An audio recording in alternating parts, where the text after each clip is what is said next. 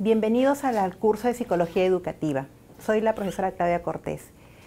Eh, bien, la psicología educativa es importante porque nos va a ayudar a dar grandes aportes al centro, al centro educativo y también el psicólogo va a tener que trabajar con la comunidad educativa.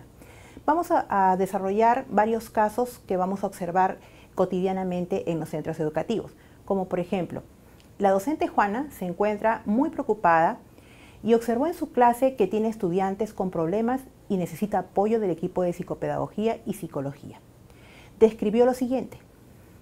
Su alumno Daniel es un niño que se enoja con facilidad, no quiere participar en clase y ella está muy preocupada porque está como ensimismado y no presta atención eh, en las indicaciones que ella da.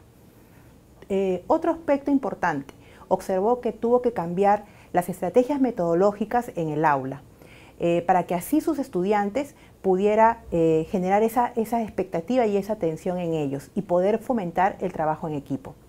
Ella le gusta descubrir poco a poco que los mismos estudiantes puedan encontrar respuestas a, a, las soluciones de los problemas o ejemplos que ella pone en aula. Tenemos el caso de María. María está muy triste y nerviosa, no quiere participar en clase y siempre se, se aísla.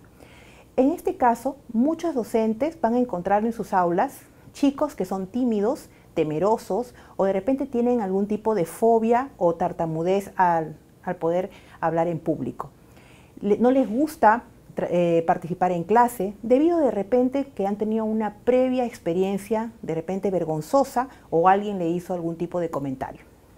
Tenemos el caso de Juanito. Es un niño tan distraído que se concentra y que, no puede concentrarse y también sale bajo en sus exámenes. Muchas veces está desaprobado y ella está muy preocupada. Tiene problemas para leer y muchas veces para descifrar códigos de signos o símbolos numéricos. Te invito a través de este curso a conocer y a investigar más la problemática educativa. A través de tus, de tus conocimientos de psicología puedes dar muchos aportes a los docentes como también a la comunidad educativa. Este curso nos va a ayudar a poder dar respuesta a la primera pregunta. ¿Conoces las teorías psicológicas que aportan el campo de la educación?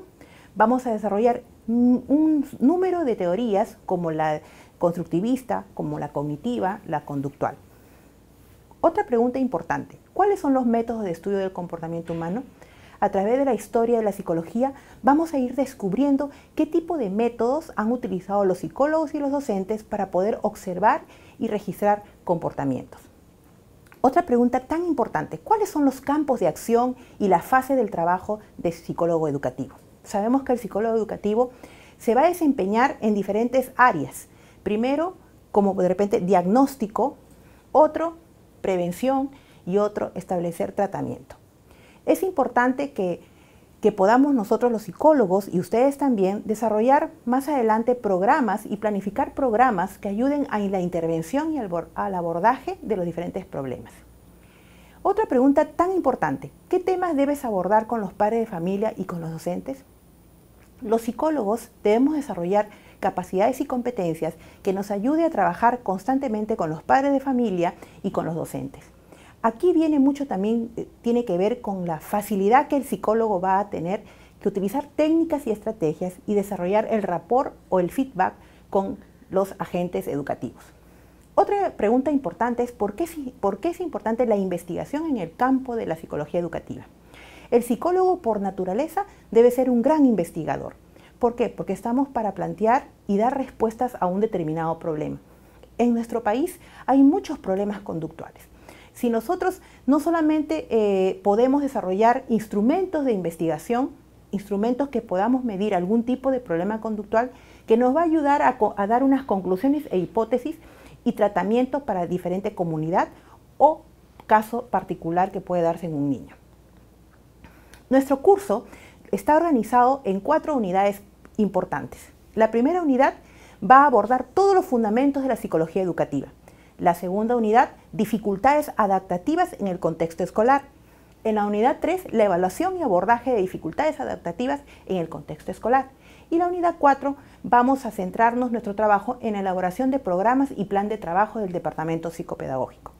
¿Qué es lo que queremos lograr en ustedes como estudiantes y también nosotros como docentes para transmitirles? Queremos que ustedes como estudiantes sean capaces de identificar y diferenciar los conceptos psicológicos que intentan explicar el comportamiento del ser humano y su relación con todo el proceso educativo. La segunda competencia es que el estudiante será capaz de identificar principales problemas y proponer estrategias específicamente que aborde este problema psicoeducativo.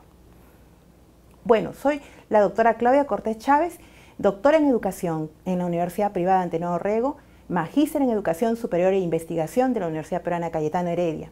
He llevado diplomados en Instituto de la Calidad de la Universidad Pontificia Universidad Católica del Perú y soy psicóloga educativa con 24 años de experiencia profesional en distintos centros educativos, programas de prevención integral del Ministerio de Educación e institutos de educación superior en el norte del país docente universitaria de pregrado y posgrado en universidades del norte del país y en Lima, promoviendo la investigación en el campo educativo, asesora en ONGs que promueven el trabajo con programas con niños de bajos recursos económicos, así como también capacito a maestros a nivel nacional.